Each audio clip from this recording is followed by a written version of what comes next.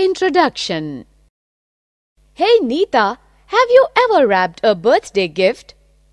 Yes, many times. That means you've covered the surface area of a polyhedron with wrapping paper. Have you ever poured yourself a glass of milk? Yes. That means you fill the volume of a glass with liquid. I do not understand what you are saying. What is the surface area and the volume? Surface area is exactly what it sounds like.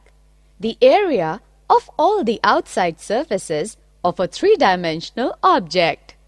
And volume is all of the space inside a three-dimensional object.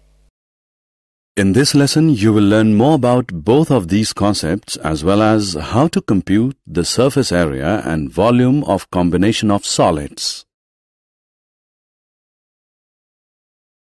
Objectives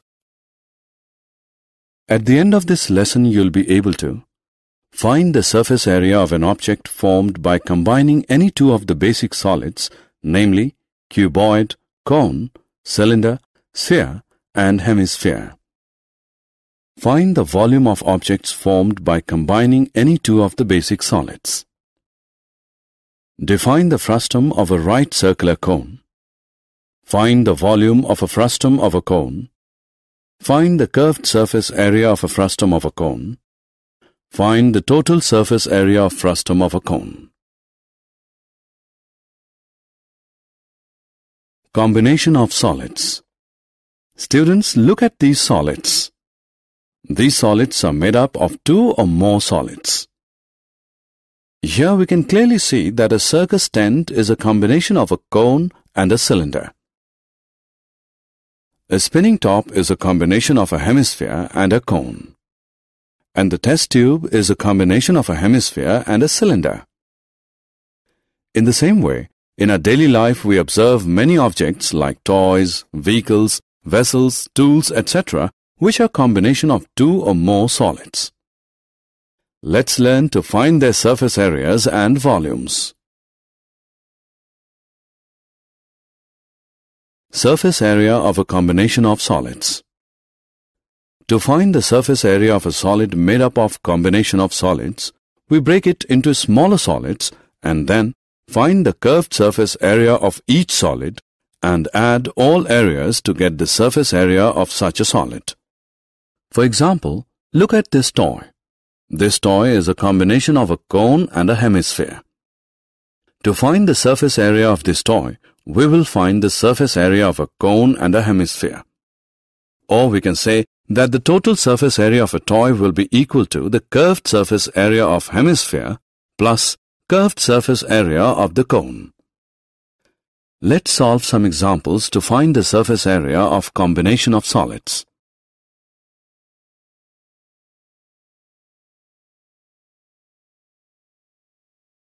Example a solid toy is in the form of a hemisphere surmounted by a right circular cone. If the height of the cone is 4 cm and diameter of the base is 6 cm, calculate the surface area of the toy.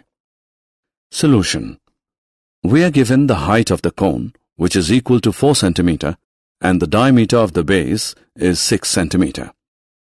As the diameter of the base is 6 cm, so the radius of the cone r is half of the diameter of the base, that is 3 cm. Also, radius of hemisphere is 3 cm. Now to find the surface area of the toy, we need to find the curved surface area of the cone and curved surface area of the hemisphere. The curved surface area of the cone is equal to pi rl. So now we have to find the value of L, slant height.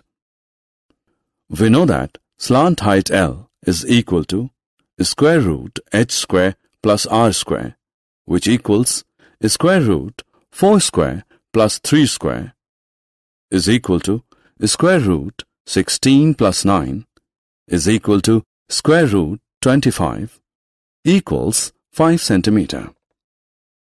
Now substituting the values of pi, r and l we get 3.14 into 3 into 5 which is equal to 47.1 centimeter square. Let's now find the curved surface area of the hemisphere which is equal to 2 pi r square. So we get 2 into 3.14 into 9 is equal to 56.52 centimeters square. Hence, the surface area of the toy is equal to curved surface area of the cone plus curved surface area of the hemisphere. This is equal to 47.1 plus 56.52. This gives 103.62 centimeters square.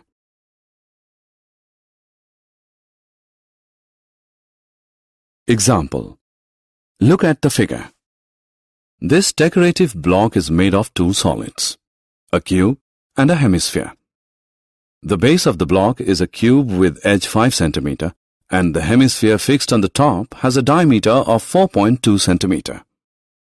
Find the total surface area of the block. Solution. The total surface area of the cube is equal to 6 into edge square, which equals 6 into 5 into 5 centimeters square, which is equal to 150 centimeters square. We can see that the part of the cube where the hemisphere is attached is not included in the surface area.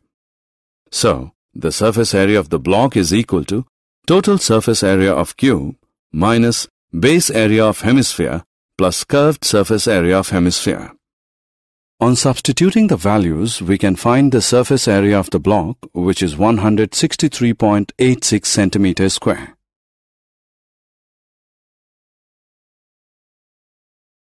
Volume of a combination of solids. When we come across a combination of solids, the problem of finding the capacity arises. To find the volume of such a solid, we break that into smaller solids and then find the volume of each solid and add them up to get volume of such a solid. Look at this ice cream cone. It is a combination of a cone and a hemisphere. To find its volume, we will find out the volume of the cone and the hemisphere and add them. Or we can write it as volume of an ice cream cone is equal to volume of cone plus volume of hemisphere. Let's solve an example to understand more about this.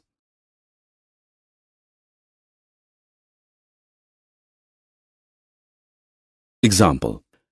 An iron pillar is a combination of a right circular cylinder and a right circular cone. The radius of the base of each of cone and cylinder is 8 cm.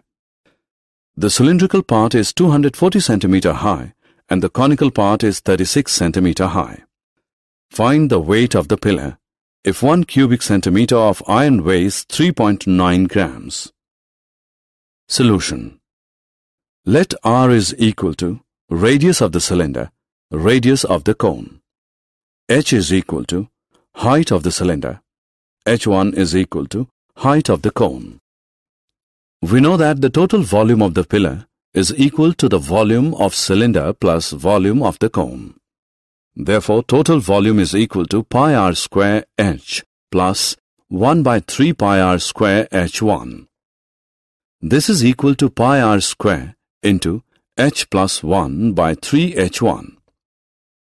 Solving this, we get total volume is equal to 50688 centimeter cube.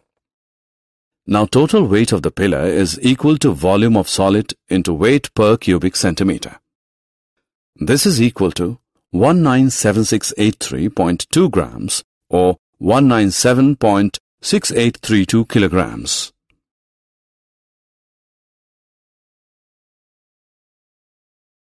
Conversion of solid from one shape to another. When we cut a watermelon into slices, we are converting a solid shape into other solid shapes. Regardless of the size and shape of the slices, there is one fact that holds true of the whole process. The volume of all the slices together exactly equals the volume of the original watermelon. When we convert a solid of a given shape to a solid of another shape, the surface area usually changes. However, the volume is preserved. Similarly, in case of cutting bread into slices, we convert a solid shape into other solid shape. The volume of all the slices together exactly equals the volume of the original object. Example A cone of height 24 cm and radius of base 6 cm is made up of modeling clay. A child reshapes it in the form of a sphere. Find the radius of the sphere. Solution. We know that volume of cone is 1 by 3 pi r square h, which is equal to 1 by 3 into pi into 6 into 6 into 24 centimeter cube. If r is the radius of the sphere, then its volume is 4 upon 3 pi r cube. Since the volume of clay in the form of cone and the sphere remains the same, we have that is so r is equal to 3 into 2 is equal to 6. Therefore, the radius of the sphere is 6 centimeter. Frustum of a cone If a right circular cone is cut off by a plane parallel to its base, then the portion of the cone between the cutting plane and the base of the cone is called the frustum of the cone. The formulae for the frustum of the cone are given below.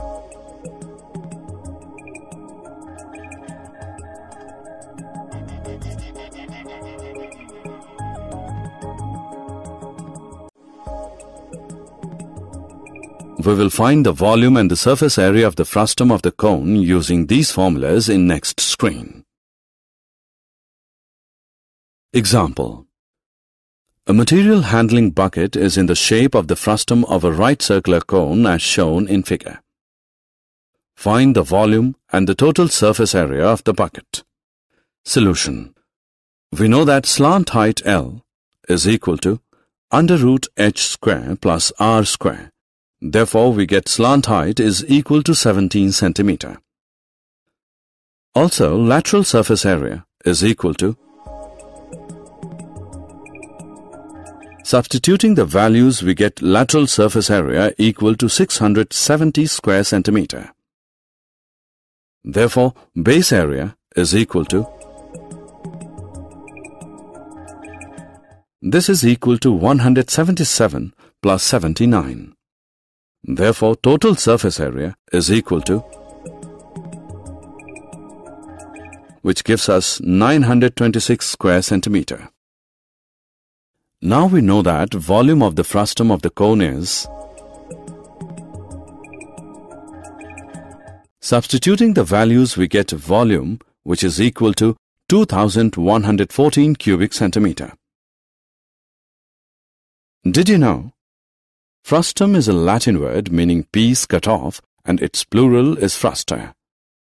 Usually when we say cylinder, we mean a circular cylinder, but you can also have elliptical cylinders like this one. You can even have stranger cylinders. If the cross-section is curved and is the same from one end to the other, then it will still be a cylinder. Of all the shapes, a sphere has the smallest surface area for a volume. Or put another way, it can contain the greatest volume for a fixed surface area.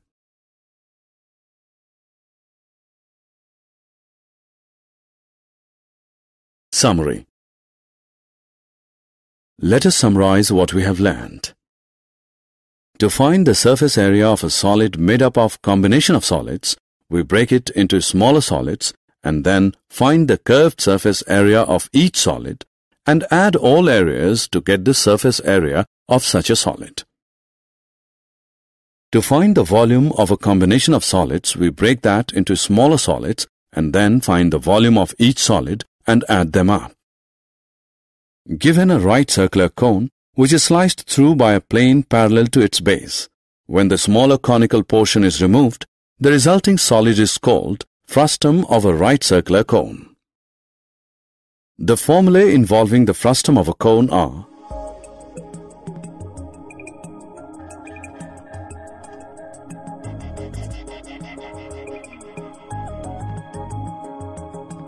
where h is equal to vertical height of the frustum, L is equal to slant height of the frustum, R1 and R2 are radii of the two bases, ends of the frustum.